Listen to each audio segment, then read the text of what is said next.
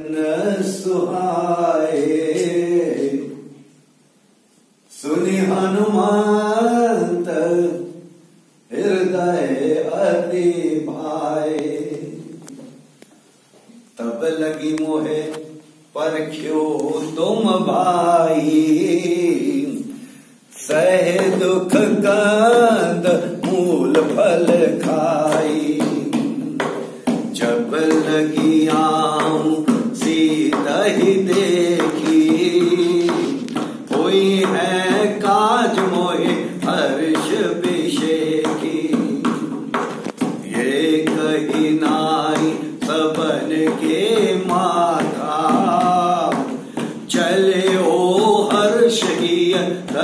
ರಘುನಾ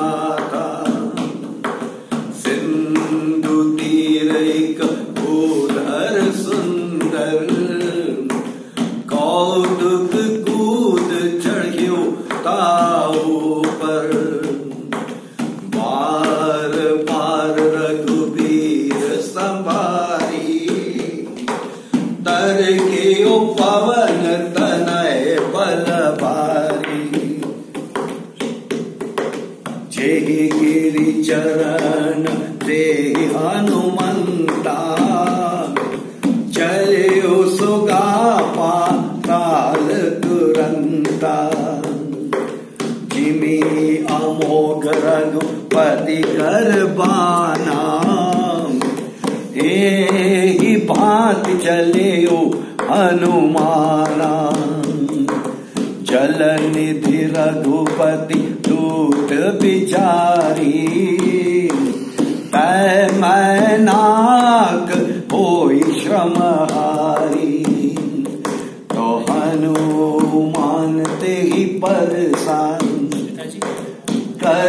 पुण्य प्रणाम। राम काज कीने बिनु मोहे कहा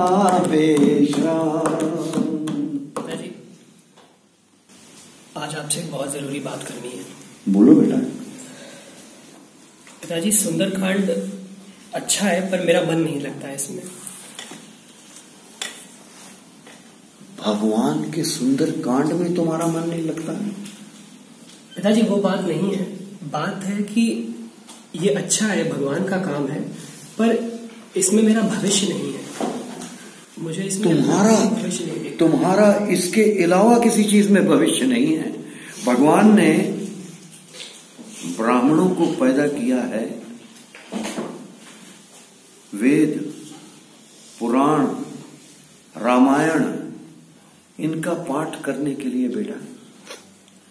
और अगर एक इंसान अपने पद को छोड़कर हट जाए, उसका कोई सम्मान नहीं होता। पिताजी ऐसा नहीं है कि मैं पद भ्रष्ट हो गया हूँ। ऐसा नहीं है कि ईश्वर में मेरा विश्वास नहीं रहा है। बात यह है कि सुंदरकांड मेरे भविष्य में बस एक सुंदरकांड जैसा बन के रह गया है। इससे मुझे अपना भविष्य नज़र नहीं आता। मैं आपके साथ कभी जाता हूँ कभी काम मिलता है कभी हमारी दाल रोटी चल जाती है। पर मेरे भविष्य का क्या? मुझे नौकरी करनी है मुझे आगे बढ़ना है जीवन में मुझे शादी ब्याह करना है मुझे अपनी गृहस्थी बनानी है। क्या सुंदरकांड ये सब दे सकता है? तुमको लगता है कि मैंने शादी ब्याह नहीं किया? मुझे मुझे पता है आपने किया पर वो वक्त तो उनको लगता है कि मैंने बच्चे नहीं पाले?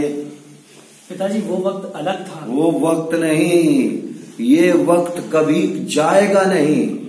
एक बात याद रखो जिन्होंने हमको ये इतनी विद्या दी है ये तो बड़े हम लोग बहुत भाग्यशाली हैं कि हम पैसा कमा रहे हैं भगवान का नाम लेकर।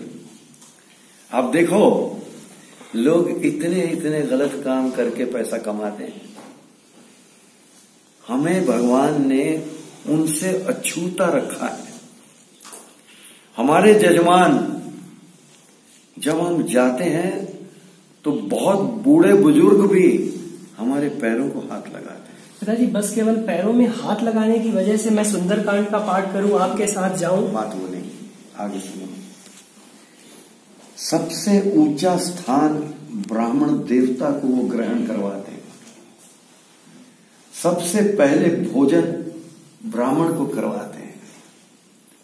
उसके बाद पूरा परिवार यूँ खड़ा रहता है जब तक ब्राह्मण देवता पेट भर के खाना नहीं खा लेते। और उसके बाद लोग अपना खाना ब्राह्मण देवता को विदाई देने के बाद करते हैं। पिताजी, ये ये वो वक्त नहीं है जब हम ब्राह्मणों को लेकर के और सुंदरकांड को लेकर के इस तरीके का, इस तरीके की सोच रखें, क्योंकि भविष्य सुंदरकांड से नहीं बनाया जा सकता। सुंदरकांड ईश्वर का पाठ करना, ये एक हद तक ठीक है। पर मैं अपना भविष्य सुंदरकांड को नहीं देना चाहता, क्योंकि सुंदरकांड मेरे भविष्य को कहीं ना कहीं बाँध के रखता है। यहाँ गाँव में जजमानों के साथ कोई पाँच हज़ार कोई दस हज़ार मुझे अच्छा नहीं लगता। मैं मैं ये नहीं करना चाहता। उसमें खराबी क्या है? नहीं मैं मैं शहर जाना चाहता हूँ। मैं शहर में एक नौकरी करना चाहता हूँ अपने जीवन को स्थिर करना चाहता हूँ। मैं ये रोज जजमानों के यहाँ जाना किसी से पाँच हज़ार लेना किसी से दस हज़ार लेना ये मुझे बिल्कुल पसंद नहीं है हम मांग के लेते हैं। वो आप अपने आप हम कैसे भी लेते हैं इससे बड़ा सम्मान क्या है कि लोग अपने आप देते हैं? और दूसरी बात जिन्होंने हमें पाला है वो भगवान उनका नाम ले रहे हैं जिन्होंने हमें सब कुछ दिया है। दादी नाम तो हम बाहर भी ले सकते हैं। उसके लिए हमें भगवान दिन रात भगवान भगवान करने की ज़रूरत नहीं है। हम अगर अपना जीवन अच्छा बनाते हैं तो भगवान हमारे साथ होते हैं। लेकिन ये रोज एक जजमान के यहाँ जाना, फिर दूसरे जजमान के यहाँ जाना, किसी से पाँच हज़ार लेना, किसी से दस हज़ार लेना, ये मुझसे अब नहीं हो पाएगा।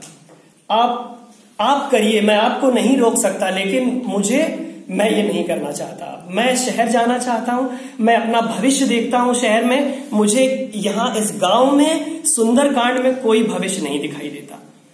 आप मुझे माफ़ करो, मैं मैं नहीं जाना चाहता। आप मुझे आज्ञा दो कि मैं शहर जाकर के अपने भविष्य के बारे में कुछ सोच सकूँ। मैं मैं अब और आगे ये बर्दाश्त नहीं कर सकता। बात बताओ। कितने रुपए की नौकरी पा जाओगे? मुझे नहीं पता कि मैं कितने रुपए की नौकरी और पाऊँगा एक ब्राह्मण होकर तुम नौकरी करोगे? चाकरी करोगे किसी की? पिताजी ये ब्राह्मण का ओदा जो है वो सबसे ऊपर है। ब्राह्मण होकर नौकरी। पिताजी ये जो आप यहाँ करते हैं सुंदरकांड का पाठ ये क्या नौकरी नहीं है? कोई नौकरी ये, नहीं है। ये नौकरी है। ईश्वर का लोग लोग भागे भागे आते हैं हमको ले जाने के लिए। मैं भी मैं भी अच्छा काम करूँगा। मैं भी अच्छा काम करूँगा। मुझे भी नौकरी मिलेगी। मुझे भी लोग पूछने आएँगे। मुझसे भी कहेंगे कि तुम मेरे यहाँ काम कर लो तुम मेरे यहाँ काम कर लो। पर ये सुंदरकांड ये भविष्य नहीं है। आपका भविष्य था आपने बनाया पर ये मेरा भविष्य नहीं है और मैं इसे कतई नहीं बनाना चाहता। बात सुनो मेरी बात सुनो। ये लगी लगाई गद्दी है तुम्हारे लिए। आज बैठोगे और आज से ही मुझे नहीं बैठना और दूसरी बात यदि आप इस गद्दी पे नहीं बैठोगे तो गाँव के दूसरा कोई भी पंडित इस पे बैठ जाएगा।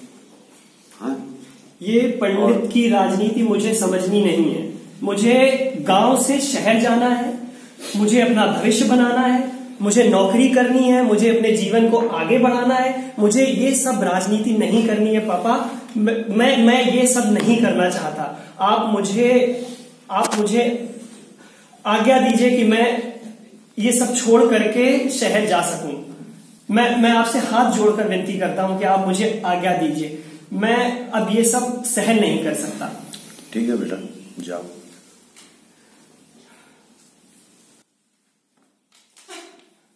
मुझे आशीर्वाद दीजिए।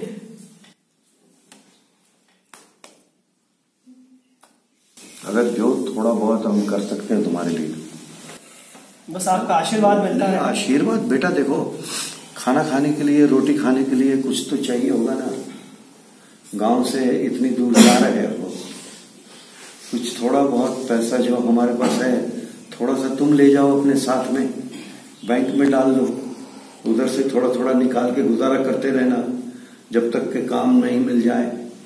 या पहले यहाँ से कोई नौकरी फिक्स कर लो फिर जाओ। एक कदम जब पक्का हो जाए तो दूसरे को उठाओ। हाँ हमने शहर में बात करी है। अच्छा। हाँ शहर में बात करी है। एक नौकरी छोटी सी हमें मिल रही है। पर हम जाना चाहते हैं। जाओ फिर। हम जाना चाहते अगर नौकरी मिल रही है तो जाओ बेटा जाओ। जी जाओ। तो गाँव आते रहना बेटा।